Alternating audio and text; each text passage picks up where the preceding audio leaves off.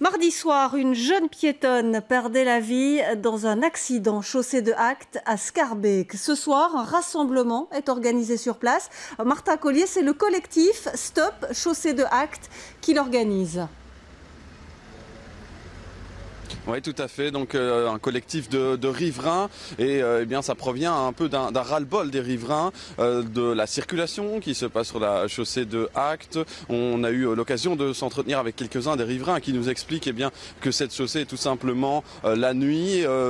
on a on assiste à des courses de voitures et cette jeune journaliste donc de 28 ans, eh bien on a un peu fait les frais mardi dernier. Elle a été donc renversée lorsque euh, tentait de traverser la route. La commune de Scarbeck a décidé de réagir. Elle a demandé une étude d'accidentologie. La voirie ici, chaussée de Acte, eh bien, est une voirie régionale. La commune ne peut donc pas euh, faire les travaux elle-même. C'est pour ça qu'elle a commandé euh, cette étude d'accidentologie pour ensuite faire des recommandations vers la région et éviter que ce type d'accident eh se reproduise.